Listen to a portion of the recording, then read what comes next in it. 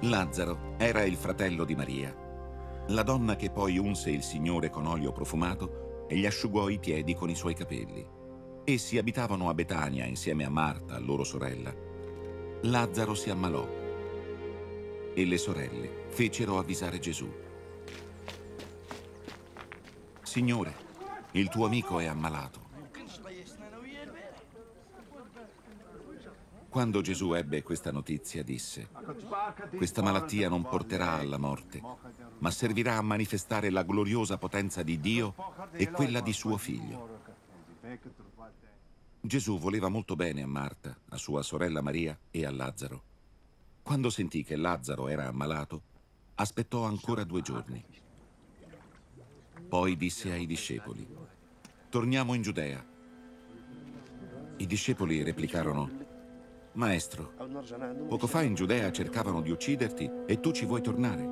Gesù rispose, non ci sono forse dodici ore nel giorno? Se uno cammina di giorno, non inciampa perché vede la luce.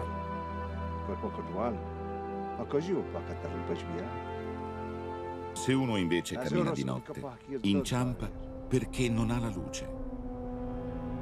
Poi disse ancora, il nostro amico Lazzaro si è addormentato ma io vado a risvegliarlo.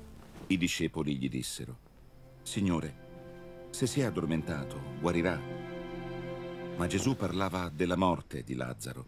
Essi invece pensavano che parlasse del sonno.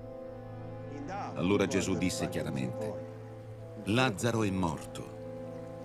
Sono contento per voi che non eravamo là. Così crederete. Andiamo da lui. Tommaso, soprannominato Gemello, disse agli altri discepoli, andiamo anche noi a morire con lui.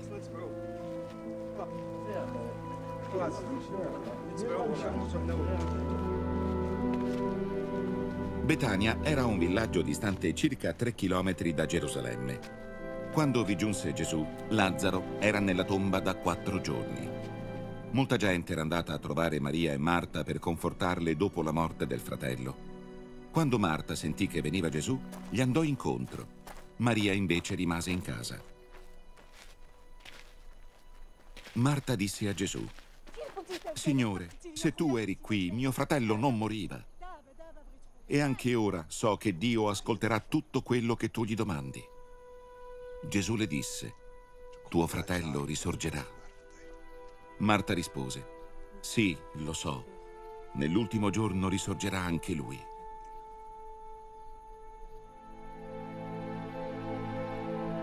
Gesù le disse, Io sono la risurrezione e la vita.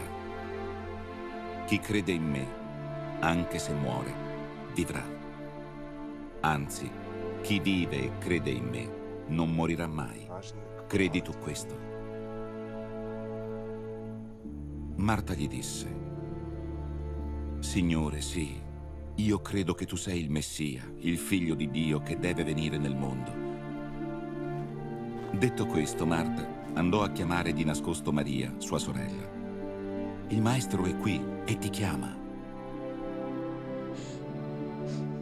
Appena Maria lo seppe, si alzò e andò da lui. Gesù non era entrato nel villaggio, ma si trovava ancora là dove Marta gli era andata incontro. La gente che era in casa a confortare Maria la vide uscire. Pensarono che andava a piangere sulla tomba di Lazzaro e la seguirono. Maria giunse dove era Gesù e lo vide. Allora si inginocchiò ai suoi piedi e disse, Signore, se tu eri qui, mio fratello non moriva. Quando Gesù vide Maria che piangeva e vide piangere anche quelli che erano venuti con lei, fu scosso dalla tristezza e dall'emozione. Gesù domandò, dove l'avete sepolto? Risposero, Signore, vieni a vedere. Gesù si mise a piangere. Allora la gente disse, guarda come gli voleva bene.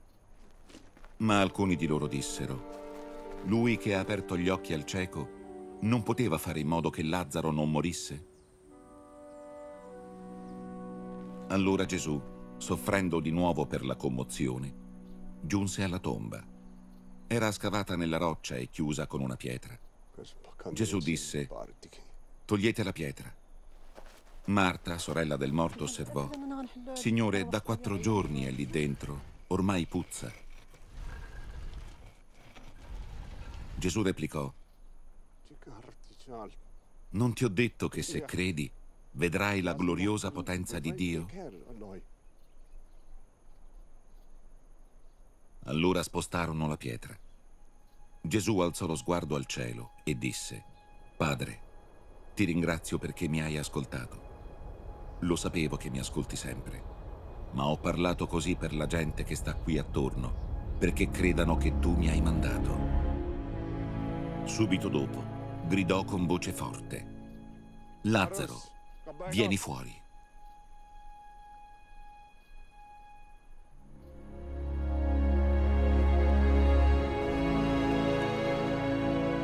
Il morto uscì con i piedi e le mani avvolti nelle bende e con il viso coperto da un lenzuolo.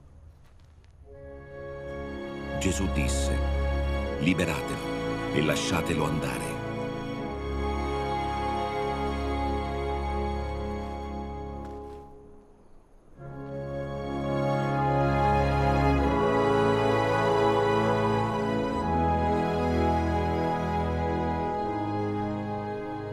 La gente che era venuta a trovare Maria vide quello che Gesù aveva fatto. Molti di loro perciò credettero in lui. Alcuni invece andarono dai farisei e raccontarono quello che Gesù aveva fatto. Allora i capi dei sacerdoti e i farisei riunirono il loro tribunale e dissero Che cosa faremo ora? Quest'uomo opera molti miracoli. Se lo lasciamo fare, tutti crederanno in lui allora verranno i Romani e distruggeranno il Tempio e la nostra nazione.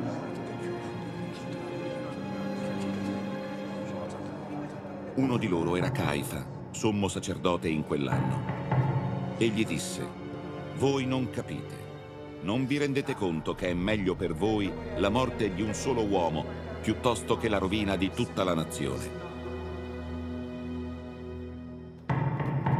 Caifa non parlò così di sua iniziativa, ma perché era sommo sacerdote in quell'anno. Come sommo sacerdote, egli fece una profezia.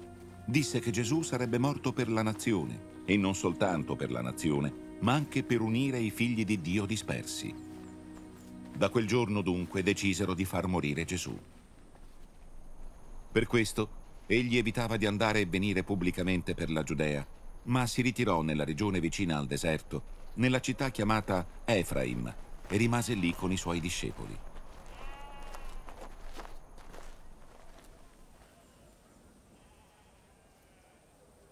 Quando si avvicinò la Pasqua ebraica, molti dalle campagne salirono a Gerusalemme per purificarsi prima della festa.